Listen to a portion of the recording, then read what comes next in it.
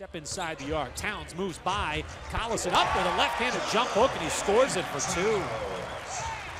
Durant is guarding Wiggins. He's been awfully quiet at the offensive end, hasn't had more than a touch or two. Towns showing some range. Karl Anthony Towns matched up against Kanter. One dribble, little step back jumper. He hits again. Karl Anthony Towns was six of the first eight. What's the point?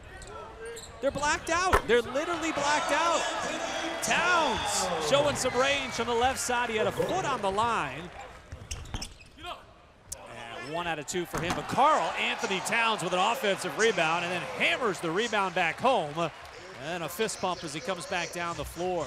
Double ensues up top to Garnett. They move it around the perimeter. Now they set up Karl inside. Turnaround jump hook. It's good. Karl Anthony Towns with his first bucket of the second half. He's now got 14. He's hit six of eight shots. Karl Anthony Towns.